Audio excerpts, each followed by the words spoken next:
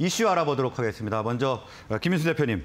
자, 오늘은 하락하고 있습니다만 현대차와 기아차가 아, 이틀간 큰 폭의 상승세를 보였습니다. 아, 이름에 따라서 아무래도 자동차주와 자동차 관련주에 주목하는 분들이 많은데 앞으로 어떤 접근을 하면 좋을까요?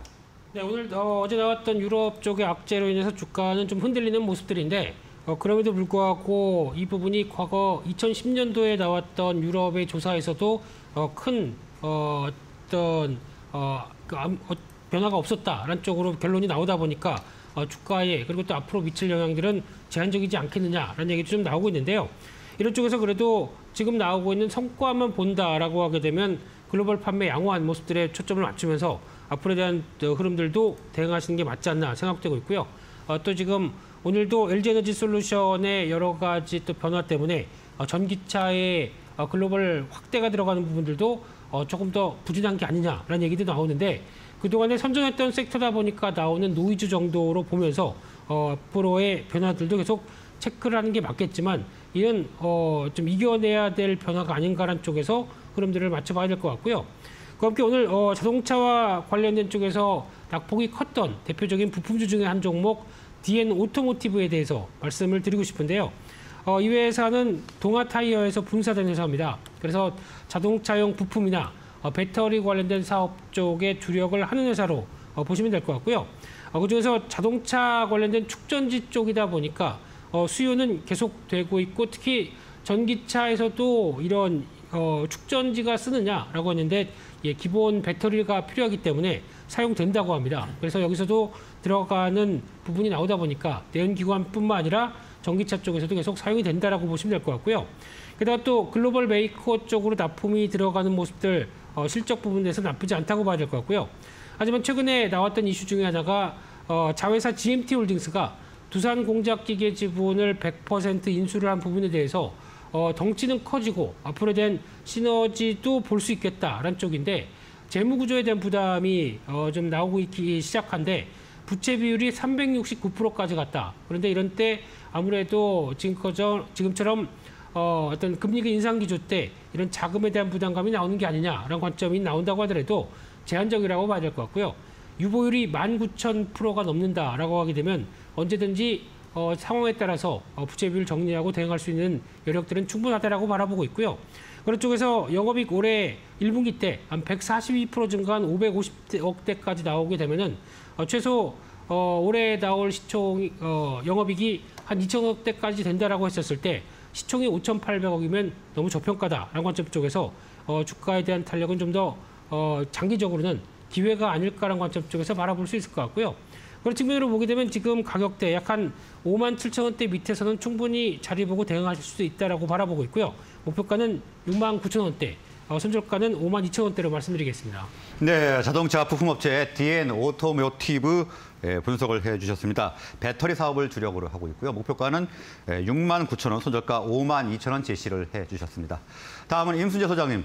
아, 최근에 신재생 에너지 많은 분들이 주목을 하고 있는데 앞으로 어떻게 접근을 하면 좋을까요? 네, 뭐 신재생 에너지가 뭐 조금 주춤거리다 최근에 다시 좀 부각을 받고 있는 그런 상황이다라고 보시면 되겠습니다. 뭐 가장 큰 이유가 우크라이나 러시아 전쟁의 여파다라고 보시면 될 것 같고요. 이에 따라서 유럽 내의 석유와 그다음에 천연가스 공급량이 축소가 되면서 지금 가격이 급등세를 보이고 있었다라는 겁니다. 어, 이에 따라서 EU 집행위원회에서 지금 뭐 그 에너지 관련돼서 신재생에너지 관련된 비율을 좀 증가를 시키겠다라고 지금 얘기를 하고 있습니다. 그래서 2030년까지 신재생에너지를 전체 에너지의 40%로 확대를 하겠다라는 걸 입법화를 지금 추진을 하겠다라고 얘기를 하고 있고요. 기존 목표가 32%였기 때문에 40%까지 이제 8% 추가적으로 이제 상향 조정을 해서 관련된 기업들의 수혜가 좀 더 기대되는 거 아닌가라는 생각을 해보고 있습니다.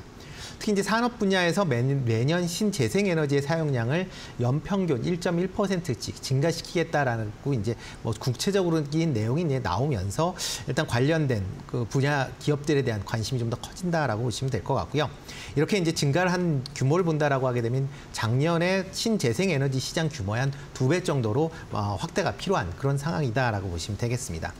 그렇기 때문에 유럽 국가 내의 태양광, 그다음에 풍력 관련된 부분에 대한 뭐 관심세가 조금 더 증가하고 있다라고 보시면 될 것 같고요. 최근에 수소 연료 전지 관련 분야도 좀 더 관심 있게 보시면 어떨까 싶습니다.